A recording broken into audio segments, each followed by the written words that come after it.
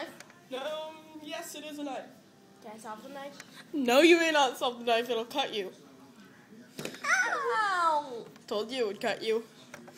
Now, you must carefully turn the knife if you want to cut a donut.